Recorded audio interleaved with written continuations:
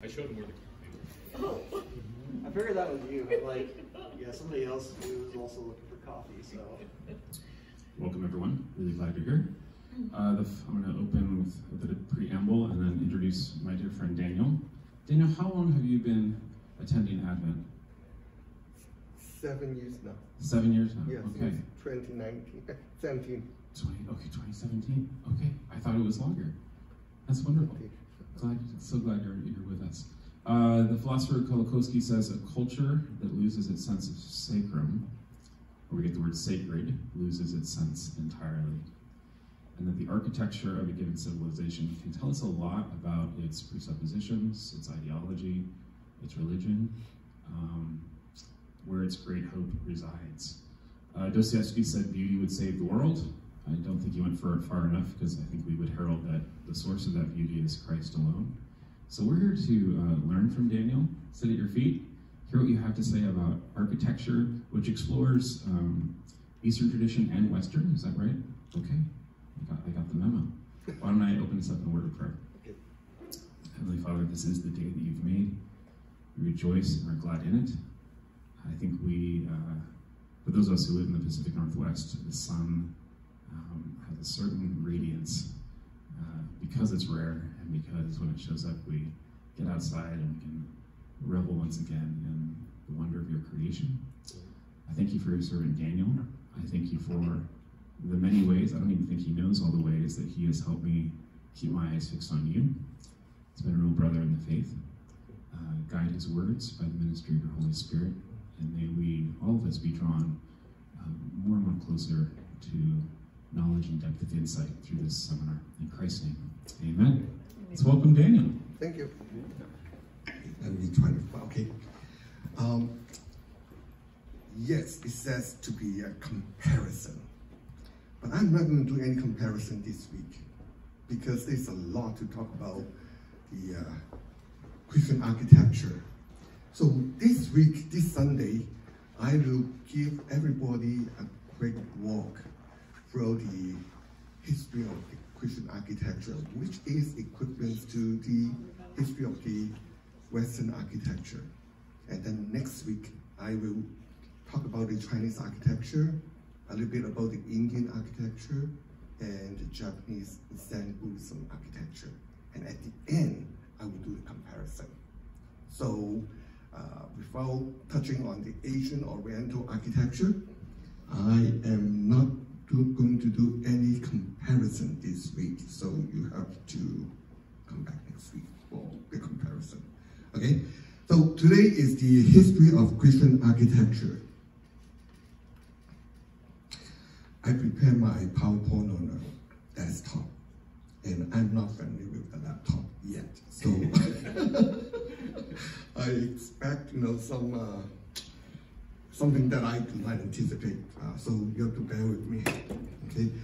Um, so when I look it up, you know, what is the history of architecture? You know, I remember there was a poster, my favorite poster when I was uh, studying architecture. But you know, there's so many terms here.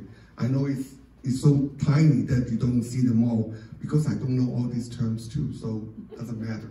Okay, so just let you know there will be so many different terms that these architects they create, but uh, they're not that important.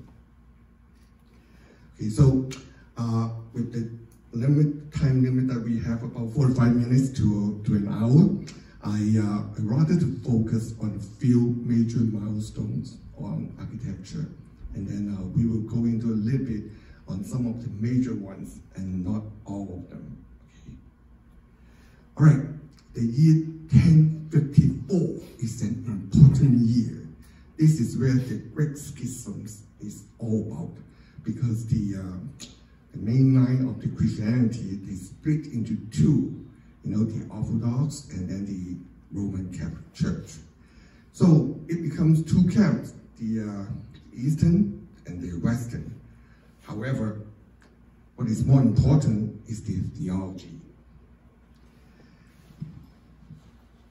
When I was uh, in school studying for theology, it talked about the difference between the Orthodox Church and the uh, Roman Catholic Church, the concept of God.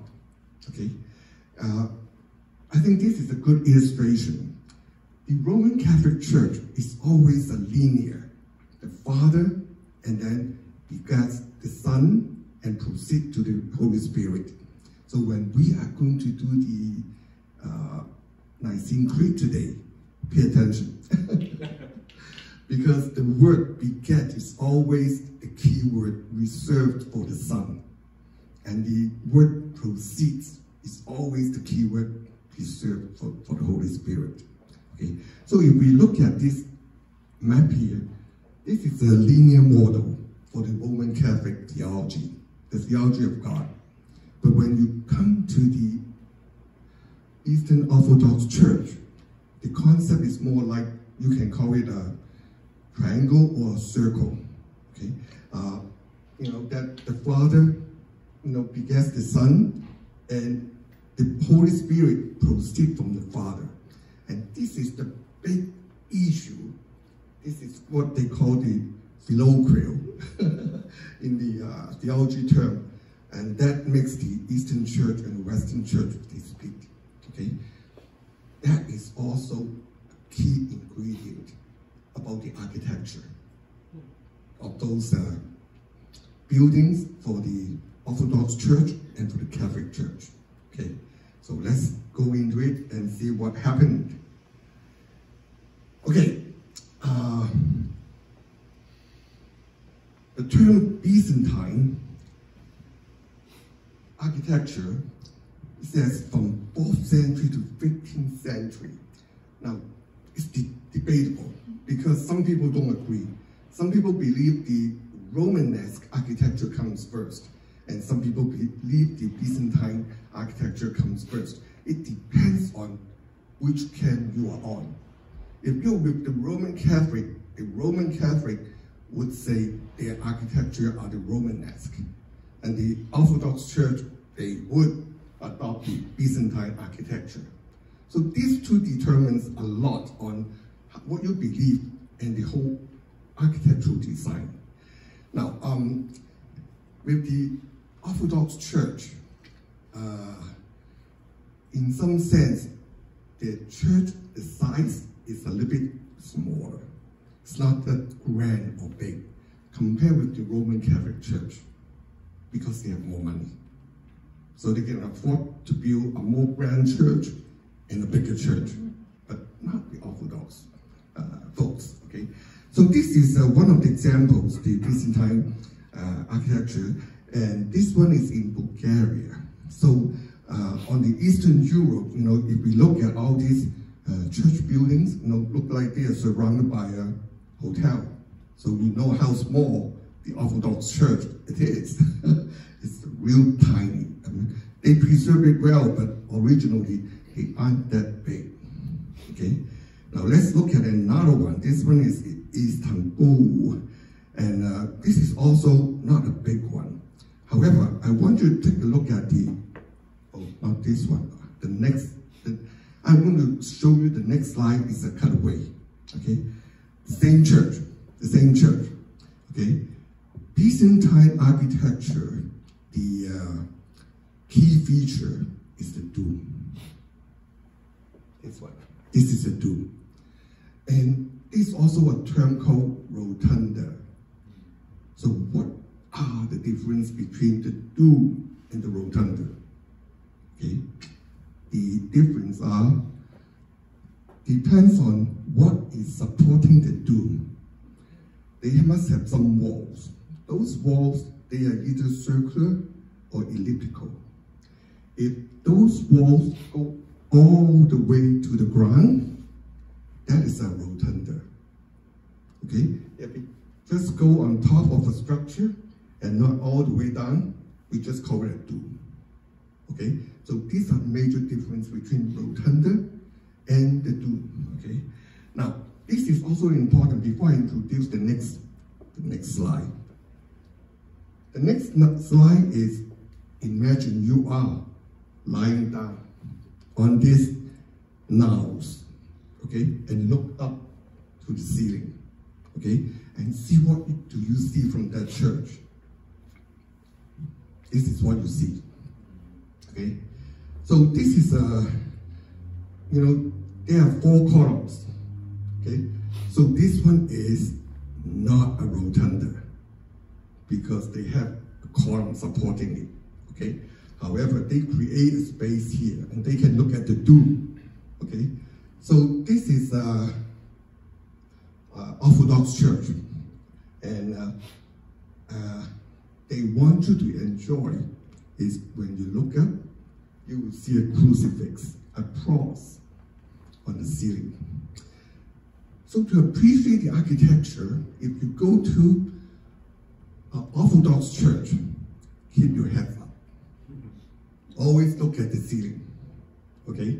If you go to the Roman Catholic Church, keep your heads down. Look at the floor.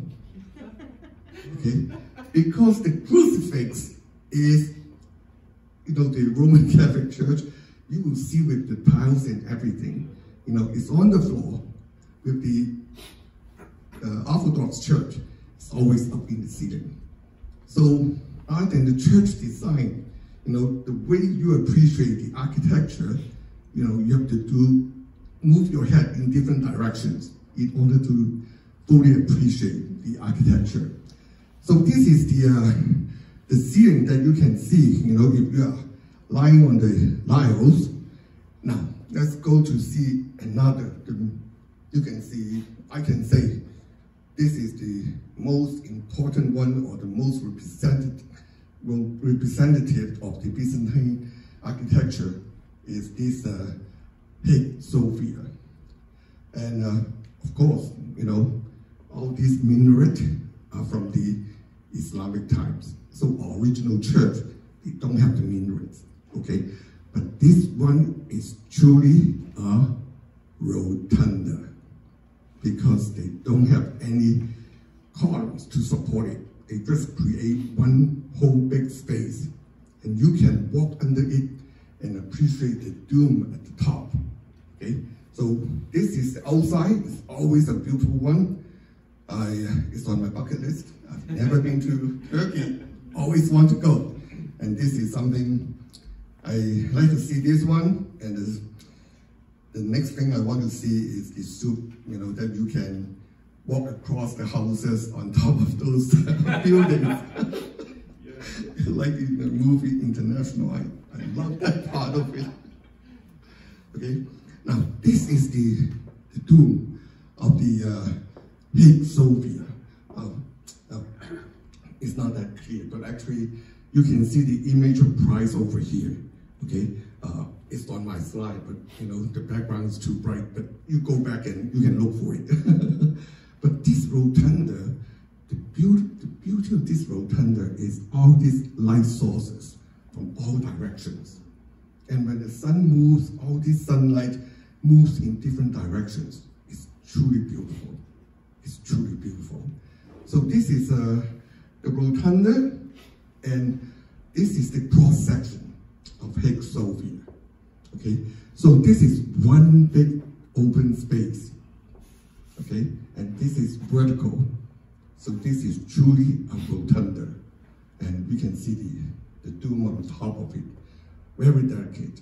And and so the Hagia Sophia, they also have the tiles, even though the tiles are not highly decorated, but uh, because this one is uh, orthodox, so we always look up and appreciate the most beautiful part in the ceiling, instead of on the floor.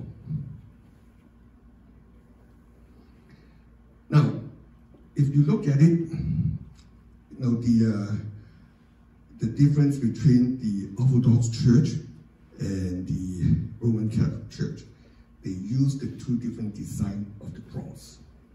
The Orthodox Church always the Greek cross, okay, with the four arms equal in four different directions.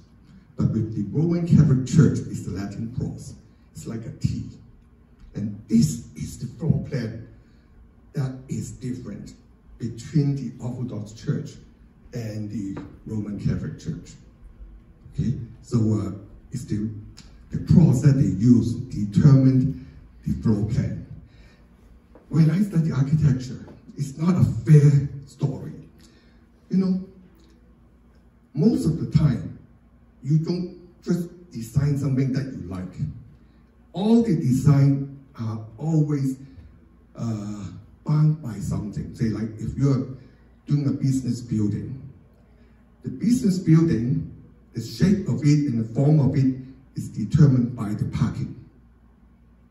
You know, how many parking the floors down, how many columns do you need, and that pretty much determines how the building above ground will look like. So it's not that fair, okay? If you have a house, you may notice that the bathrooms are always back to back, right? And if you have a kitchen upstairs, a bathroom downstairs, they are on top of the other. Why? The water lines and the sewage lines. Because they want to keep this close together. They don't want to run the water pipes, you know, all over the house. That is too expensive. So the bathroom and the kitchen also determine the shape and the form of your house. Because where do they located by the architectural economics, that will determine the shape and the form of your house. So similarly, because of the design, they always want to have the cross to represent, you know, the presence of Christ. That always determines the exterior of the church buildings. What, how do they look like? Okay, I better get fast. You know, I, I haven't even get into first design yet. Okay, so this one is is a, a. Uh, it's a perspective, uh, cross-section perspective. So as you can see, they have the tile, tiles, and you know, there's a lot of meticulous uh, uh, designs and details all over the building. So uh, this is uh, this is something I truly really want to see uh, with my own eyes eventually one day. Okay, let's look at another example. This one is a Romanesque architecture.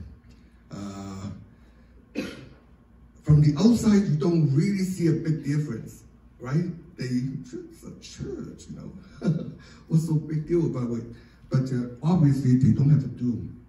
This is the most obvious, obvious part, apart from what we were talking about the uh, uh, uh the Byzantine architecture. Okay, but the Romanesque uh, uh, architecture is more than just the outside. Because from the outside, it's pretty hard to judge the architecture. So we have to look into the inside. With the Romanesque architecture, we, I'm not going to repeat everything I wrote here, but there will be a lot of arches, a lot of columns, okay? These are the, you know, just think about the Roman empires. They have their aqueduct, you know, running all over the whole Europe. Know, so what you, what impressed you most are always the columns that support the aqueduct. So um, they use a lot of the uh, arches, wards, towers, and arcadings here. Okay, so these are the and with the Romanesque architecture, is always symmetric. Sym symmetry, being symmetric is the aesthetics. That is the beauty. Okay, the left side has to be equal to the right side. If you break that rule, that will affect the definition of our aesthetics with the classical architecture. So it's always symmetric. Uh, symmetric. Okay? okay, now, as we can see that uh, the Romanesque architecture is all over Europe. Okay, so um, this one is from France. With France, you know, it's Catholic. It's not Orthodox anymore.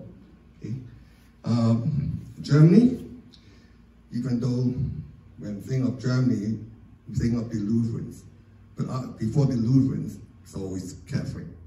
You know, if, when, if you're, if you go to Germany today, there are quite a few, quite many of them are still Catholic churches. So, you know, Catholic churches are quite common in Germany. Okay, now you look at the outside, it is just some masonry buildings. You don't see the columns. You have to really go inside to see the uh, the uh, the columns. And uh, this is another church. I'm not going to pronounce because I don't know German and I don't know French. Most of these names I don't know how to pronounce it, so just. you have trust me. Now, we look at the top view of this church. This is a what? Latin cross. This is not a Greek cross. It's a Latin cross. It's a T. Okay? So this is one of the church. Also, I haven't seen by myself yet. I love to see this one. I have quite a few image on this church. I love taking pictures at night. Okay, this is a beautiful church if you look at it at night. Of course, the feature is the tower up here, but that one is not important. That one is not important. Let's go into it. Okay, this is interior. Now, this is Romanesque. You can see all these columns. Okay, all these walls that they preserve, the arches at top of it. These are the features of the Romanesque architecture. These are the major features, okay, of this uh, uh, Roman Catholic Church. This is the cross section. I love this cross section. Okay, it shows where all these uh, load-bearing walls and columns and uh, the kind of way they cut through the towers, so uh, you can see how it runs. And you see this here, they have all this Romanesque architecture is, they have all the strict lines. Strict lines is also aesthetics. Repetition of the strict lines are aesthetics in architecture. So this one is all the same. They run all the way down. Okay, so this is uh, a cross section, and let's look at the next one is the Gothic architecture. Now, when we come to Gothic, this is uh, the architecture used on the churches most of the time. I don't even think too many palaces they use Gothic architecture because because of the height of the building. Okay, which I'm going to show you next.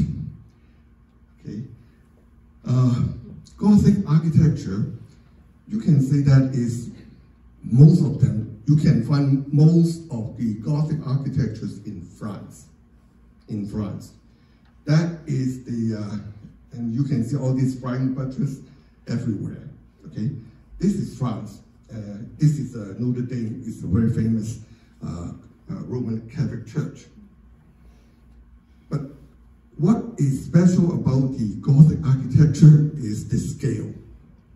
When you go to a, uh, a Gothic architecture church or, or, or basilica, as you can see the human scale compared with the whole structure, you are really looking at a divine scale.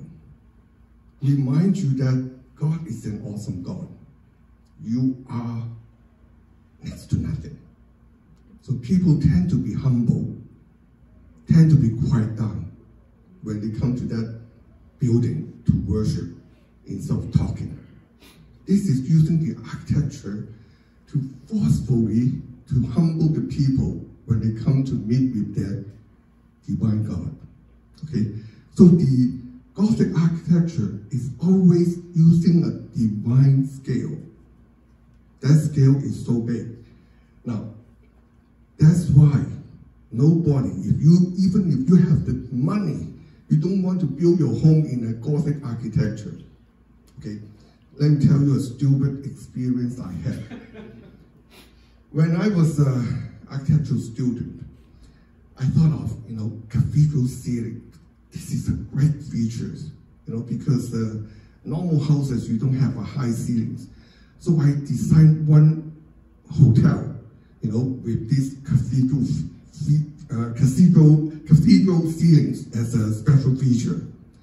And then my prof came to me and told me, you don't really want to have a high ceiling in your bathroom.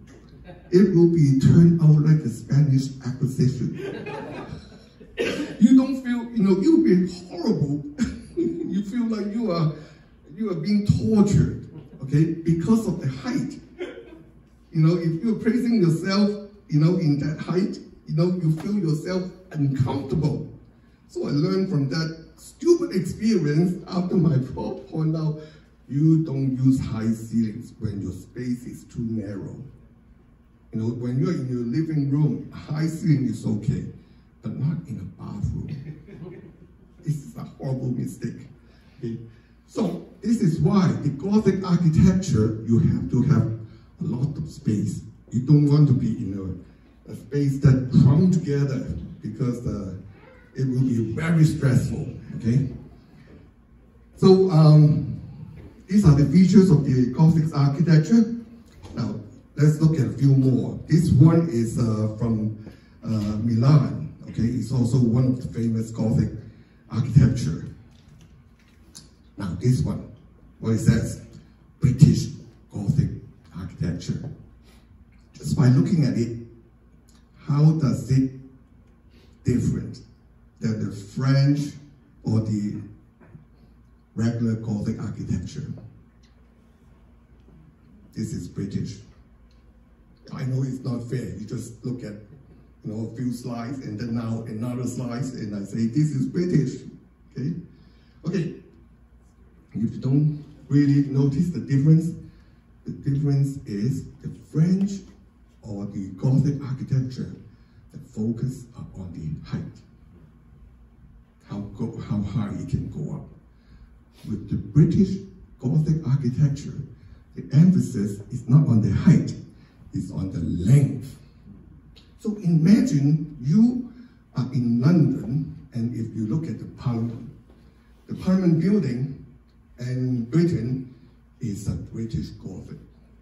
And it's a long building, repetitive, you know, all the lines repeating itself, but it's a long one. The emphasis never goes up. This is the major difference between the British uh, and the regular French Gothic. Now this is the, uh, give you the uh, a glimpse of what the British uh, interior architecture on the British Gothics. So you can see all these uh, uh, columns, they are all the same with the mosaic glasses, uh, but the British, they always decorate their floors. So the floor, they have something to look at too, but of course they are not orthodox, so you look down. Instead of looking up, okay, look down. Okay, let's go to Renaissance. Renaissance. Renaissance happens in the year, you know, 1500 after, you know, during that period, there's two major things happen. You know, the uh, uh, uh, Martin Luther, you know, the Reformation, and then the Enlightenment is the because of the people, they do not trust the Roman Catholic Church, uh, too much corruption there. They turn to humanities and science. Okay, so those two things happened, both the Reformation and the Enlightenment. Okay, Renaissance, Renaissance architecture. What did you see the difference between the Renaissance architecture and the Gothic architecture? Did you notice? Hmm? Came back to a dome. It has to do because, as you notice, architecture is evolving. When they have a Renaissance architecture, that doesn't mean that I'm going to trash, you know, what the Romanesque uh, architectures were doing. They keep using them, recycle them, adopt them, keep them. Okay? So the dome, not exactly the dome, but the round top and everything, they are all the same. They are not going to get, get rid of it. But what are the major difference between this one and the previous Gothic that we look at? Look at this one. This is also a Renaissance architecture. What are the differences? It's not like, um, what's the, symmetrical. It's not symmetrical, yes, but uh, Renaissance architecture did not deny symmetrical. This is example I, I, I, you look at, this is only part of the building, so you don't see the whole thing, so you only look at part of it, it's not symmetrical. The major differences is human scale.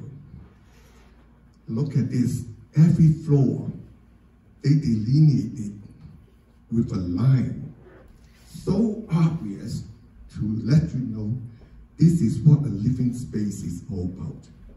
And this living space is scaled according to the human height. Okay?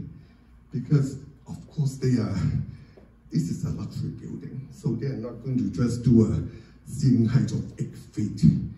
This is only residential for us to live in, but this is Italy, you know, so those are the rich guys. So they want to have a ceiling much, much higher, okay? So they must have 10 or 12, but still, this is according to the human scale. And this is the difference than Gothic. Gothic is the divine scale. Okay? When you walk into the Renaissance, it is a human scale. So the same thing is about Reformation and Enlightenment. Because at that time, during that time, those people, they believe that they have the awareness. Oh, we can do everything. The focus switched from God, from the divine God, into the human humanity. So they believe we are more important. So when we create a building, it ought to be charted and measured according to my size, according to my height and scale. You know, Frank Lloyd Wright, a very famous American architect, he designs more than buildings. He designs his own furnitures.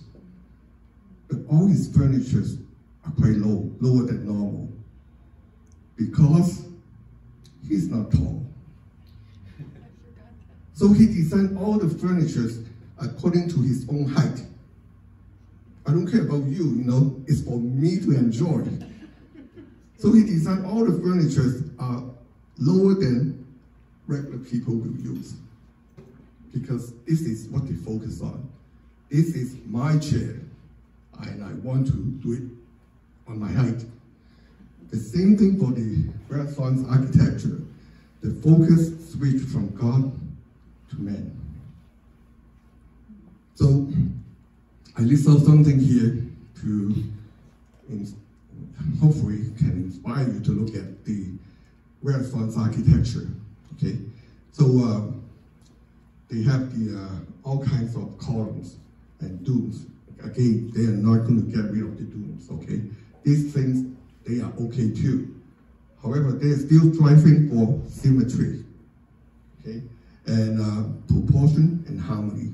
These are the classical rules from in architectural design, and this is the Western aesthetics that it ought to be balanced, symmetric, and in the right proportion. Okay, let's come to Baroque. Now, we look at Gothics. They are focused in France. When we come to Renaissance, the table switch to Italy. Okay, when it comes to Baroque, the table switch to Russia. Okay, because when you look at, it's pretty, hard to find Baroque architecture in church buildings. This is a few, only a few that I could, I could find because most of these Baroque buildings were used to build the palace, concert halls, theaters, and not really for the uh, for the church buildings. Baroque is because the, the, the Russians, when they came to France, they visit and see the Versailles, the palace. They like it, and then they borrow it, and they want to bring it back to St. Petersburg. So if you go to St. Petersburg, there will be a lot of Baroque architectures. Um, I've been to St. Petersburg, so this one's the Winter Palace. And you can tell they have read, oh, I'm sorry, you know, it's too bright. You don't see all these details here, but go back to, to your home computer and look up the Winter Palace. It's very decorative, a lot of details, very meticulous. So this is the uh, Baroque architecture, okay? Not only Baroque in, in, in Russia, you know, Vatican also use it too. Look at these columns. It's not practical. You know? If we are pragmatic, you just make a straight one. Why do you order to make the spiral ones? Baroque is all, always going to details. They always make it that creative to make you appreciate the details. So Vatican also use part of the Baroque architecture. I know, because I know some people may have a heartburn if the United States is not being mentioned. So I have to mention it. when it comes to modern architecture, now we can talk about the United States. Okay, so uh, we'll give you a few examples like this. You know, they are all found in U.S. Okay. Now with uh, with the uh, modernisms, modern architecture, this is where symmetric is not going to be restricted. Okay. However, with the modern architecture, they are still talking about lines and curves. This is not something that you can do without. Okay. But with the modern architecture, they have the new technology. And the new technologies and the new materials are reinforced concrete and steel. So most of the modern architecture will be using steel and glass. Okay? And modern architecture is so pragmatic. Anything that is not necessary or required, we can do away without. Okay? So if you look at, if you go to downtown, a lot of these uh, modern architecture buildings are so boring. Okay, you just look at a cold, tall glass walls or the same, the, the facade is all the same, just the windows, no variations. Kind of boring, okay? But this is modernism. Modernism is quite pragmatic. Anything that's not necessary, do without. Do it without, okay? So this is modernism. However, we don't see too many churches in designed in modernisms because modernisms and eventually the postmodernisms that I'm going to talk about next are really for these high rises, business buildings. Never heard of them for residential. It's most unlikely. It's most unlikely. So in order to find church buildings that can be classified as modern architecture, this is the one of the most famous building represent the modernisms by Le Corbusier, a French architect. Can you move just to a little bit? see I the just want to see that, see it, just, Yeah. You- it's Okay, quite sorry. beautiful. I really like it. Yes, they have a different curves and uh, they are start playing with the light. Yeah. Okay, so this is the, uh, uh, the I would say it is one of the best representation of the modern uh, modern architecture by Le Corbusier. Corbusier.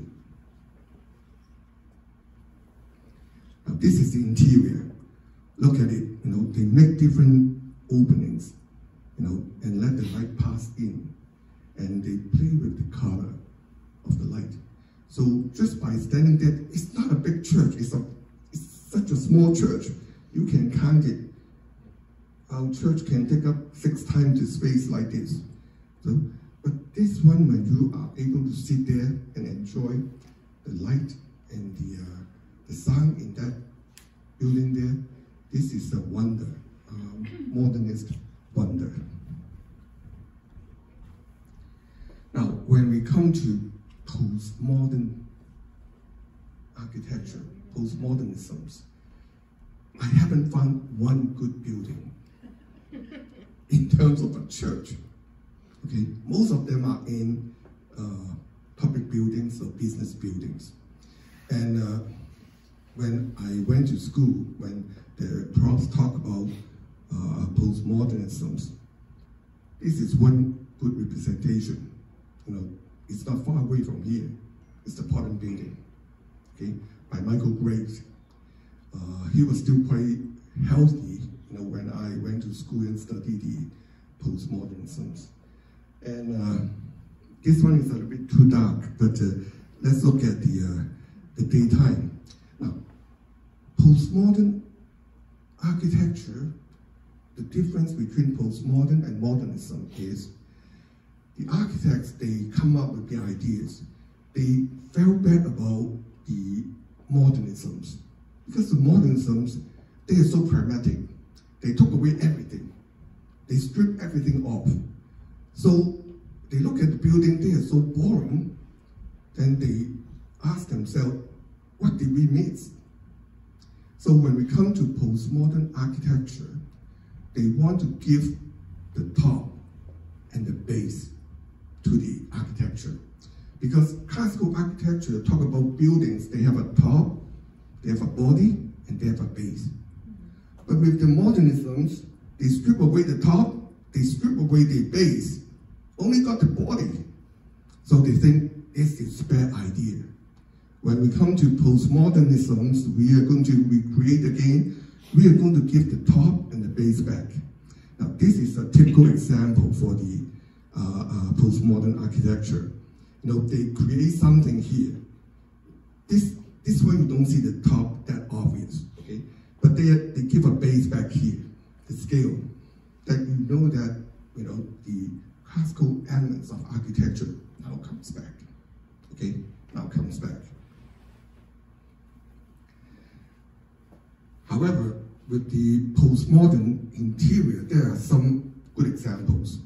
One of these, uh, we can look at all these uh, the different colors, materials, and then they are also playing with what? With the light and the shadow. This is what postmodern interior architecture is playing. The same church building in different time, it display different colors. Okay, and with different light sources. You, the whole field is all different. Okay? Now you have such a good example for the interior. What do you think the exterior looks like for the postmodern? I think it's one horrible example. This is what the exterior looks like. It looks like a water tank. You couldn't even tell this is a church. You know, how did the some bells, you know, and you entered through this one inside. So this is not a good representation of the postmodern architecture. Okay? Okay, this is the last one. Okay? Is this the playground for the postmodern architects? Or this is an unrecognized architecture? Pretty hard to make the definition because with the uh, postmodern era that we are facing right now, everything is chaotic. This, the order, everything is uncertain. So at this point, we don't even have a good definition for the postmodern architecture for churches. We haven't found any good examples yet. We can see that We have church buildings that they are not symmetrical. They have uh, they have some tops, but uh, it's pretty hard to find the common things with all these elements with the postmodern approach. So this is the, uh, the last slide that I have, and uh, I can hope with this if you have any questions that you want to ask. We'll try my best. Yes, Gary. One, one thing that's always, in, well, not all- interested me about, but why did they build them so tall? It reminds me of the Tower of Babel to some degree, that we build as high as we can to get as close to God as we can. Well, it depends on what style you're talking about. You know, with the Gothics, they, they want to make it tall. They want to make it tall. And do you also did you also notice that um, in some churches in the uh, rural areas that they have a clock Okay? at top of those, uh, you know, the pinnacles of the uh, of the building. Okay, because this is the place where, when the bell rings, that is a time to remind people you come and worship. So you have no excuse excuses saying that, oh, I lost my way, I couldn't find the church, because the church building is so tall that you, you can't miss it. Okay, so making the church or buildings, these uh, ecclesial buildings so tall, is make sure that it's large enough to accommodate the people, but also you won't be get lost in finding the church. So this is, uh, I think, one way to design for those uh, high buildings. And also from an architect's viewpoint, uh, a building that is tall, you have a lot more choices to play with the variations. Okay. Yes. I also have a question. We have been to many of these that you brought up on your slides, not to Turkey, but to the churches, and I'm always sad when I go in them. A, they're empty in most of the places, especially France. B, I love that you brought up the clock because they do it also in the middle of the day for the Angelus and the different prayers that people used to pray. And uh, thirdly, all the labor it took to build those when the people were very poor. As particularly, I don't know about the Lutheran, but we were looking at many in Italy, and it, they, the guide said the people, it was their way to kind of work their way into heaven by donating their time. But you mentioned the steel beams in ours. What makes these earthquake proof? Do you know? Because there have been earthquakes and the churches have survived. Actually, I want to cover this one next week. Since you ask, since you ask, I'll jump the gun. I've often been curious. Is it the hand of God that's preserving them? You know, in the last hundred years, we did so much experiment with all these uh, mechanics and, uh, you know, all the fields on the materials, they were all studied. So now we know how long a beam is required to support so much weight, okay? So nowadays, because we have the math to calculate, to find out what is the minimum or the maximum that we need to carry the load. Okay.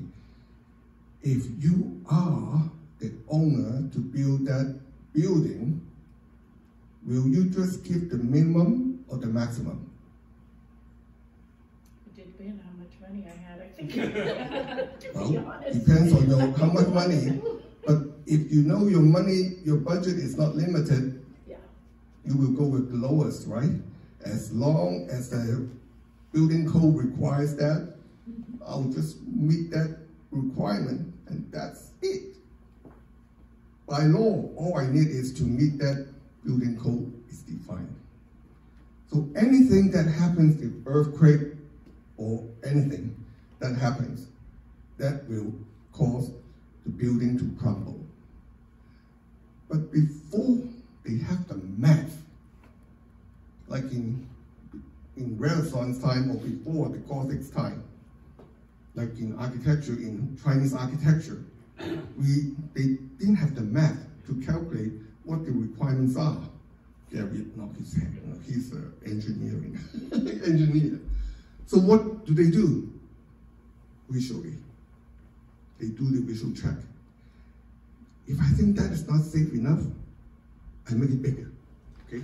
So say like I don't know how much the load upstairs is, you know, for this building.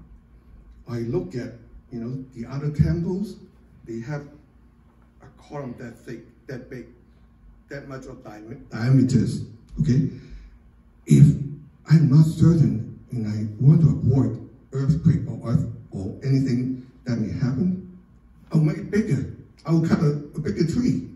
So the margin of error for those ancient buildings are quite high. That means, you know, they make sure, you know, that it will bear all the load that they anticipate or they did not anticipate. They make it so big, the margin error is you won't be able to make that mistake easily. That's why most of these uh, Chinese pagodas, you know, that they last for over 700 years, 1,000 years, they still stand. Because they didn't do the math. Without the math, they would just make it bigger. So that is the safe factor. Yes. It's been wonderful to watch these, view these buildings through the lens of the vantage of a musician and how so clearly these spaces are made for corporate worship, Yeah. for singing, and uh, the acoustics are reliably spectacular when you raise those walls and create that kind of cavernous space. So, um, thinking about function, the function is worship and the function is corporate worship. So we can sing together and actually join that kind of angelic chorus. Oh, okay. So it's not question. Okay. yeah. Yeah. So Daniel, uh, on dovetailing off of that point, I wonder if the acoustic quality of postmodern churches has been lost. That the shape, and so they've gone so much in the direction of trying to work with shape that it doesn't have that uh, resonating cavity that the cathedrals have. Yeah, I I don't know, but all I know is modernisms and postmodernisms, symmetric is not required. So if you don't have a symmetric in the geometries, how can you converge the sound? That is questionable. That's I think it's again a reliance on technology. You have to go over to microphones and speakers and I don't think so, actually. If it's, if a place is designed for worship or a concert hall, it's very intentional now, the sound. Like at Benaroya, when they designed that, you could just hear a pin drop. Um, so I think that we leverage the modern architecture, we leverage our knowledge for that. Cause I used to be in these choirs and, and some of the new buildings are good. Some of them are bad, like, you know, Protestant churches notoriously bad, you know, cause they aren't really built for that.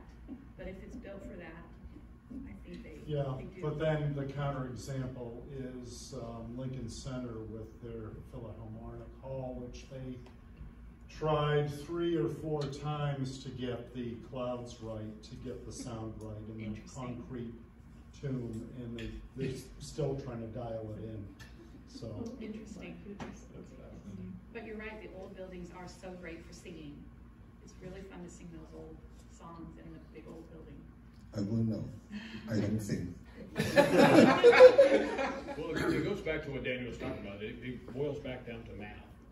Because Yes, acoustics yes. and lighting and everything all are, you know, very measurable. And you can build a model of any kind of surface and say where the sound's gonna end up and what volume it is and what light it's gonna be. So it, it is a, it all goes back to the statistics and math that goes into that, whether it's a model basis or a physical basis. And it's also the surface conditions that go in, there's a lot of that goes into that. I do have a question in the Gothic one, why the gargoyles and all the Yeah, devils and everything all around the outside in of the Notre churches? Dame especially. Notre Dame had gargoyles all the way around the perimeter. They do, yeah. For the water. Water. I thought it was to keep the devil away. It's for water. No. So, you know, the, the waters can drain through the lowest point. Kind of creepy when you walk through some. Yes. It's ugly, but it's for water drainage. Okay. Ah, Not water drainage. Thank you. Okay. Not only I don't sing, just like the uh, Scholz, you know, the uh, the German chancellor, I don't dance either. So don't ask me questions like, you know, would that be a great place to dance? I wouldn't know. Well, let's thank Daniel for the presentation. I thought that was a magisterial survey of not just the architecture, Daniel, but the theological underpinnings that guide those architectural decisions. Um, we're all recipients of the modern tradition. I'm a student of T.S. Eliot and The Wasteland, that famous poem from 1922, where he laments that the nymphs had de- departed. And the nymphs have departed, that's his refrain. That so much of our aesthetic sensibility has fled the imagination. So, Daniel, thank you for reinvigorating that in us, giving us a sense of the way that beauty participates in the salvation hope that we proclaim. So many people I know have come to faith not through five reasons to believe, but through an aesthetic experience of God's grandeur. I have a friend who became a believer through the plays of Shakespeare. I have a friend who uh, entered the Louvre and was overcome by a depiction of Jesus. So I love that we're a church that is serious about aesthetics, that actually believes that the Holy Spirit can use beauty to draw people to Himself. Let's pray together. Heavenly Father, I do thank you for the world that you've made, uh, that it's inaugural. You declared that it was very good. There's, the world is so broken because of sin and rebellion and death, and yet there's so much to love within it. And I pray that those loves, the love for architecture, for music, for painting, would ultimately draw us to you. And I pray this in the name of Jesus. Amen.